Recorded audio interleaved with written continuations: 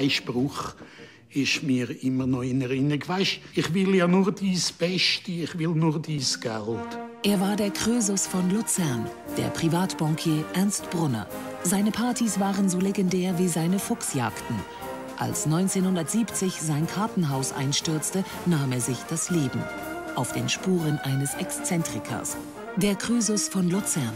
Donnerstag, 20.05 Uhr, SRF 1.